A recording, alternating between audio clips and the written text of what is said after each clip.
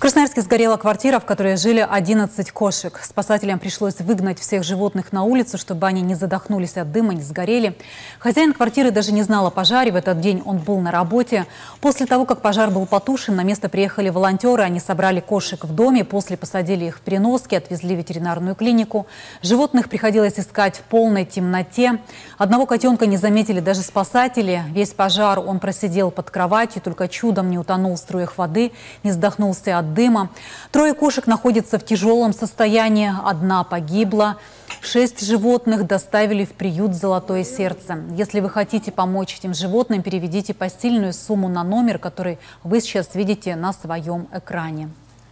Скажем так, что состояние котов средней тяжести, потому что дымом надышались все. Э, шесть более-менее нормальных им поставили уколы, и они доставлены все, вот они здесь сейчас, все в одном вольере.